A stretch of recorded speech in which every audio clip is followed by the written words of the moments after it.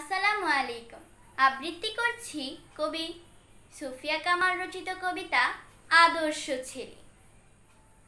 আমাদের দেশে হবে সেই ছেলে কবে? কথায় না বড় হয়ে কাজে বড় হবে। মুখে হাসি, বুকে বল, তেজে ভরা মন মানুষ হইতে হবে।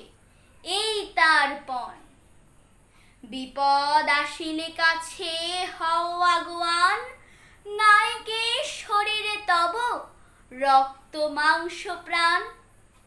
হাত পা সবারই আছে, মিছে কেন ভয়? চেতনা রয়েছে যার, সে কি পড়ে রয়? সে ছেলে কে চায় বলো? কথায় কথায় আসে যার চোখে জল। মাথা ঘুরে যায়। মনে প্রাণে খাটো সবে শক্তি করদান তোমরা মানুষ হলে দেশের কল্যাণ। ধন্যবাদ।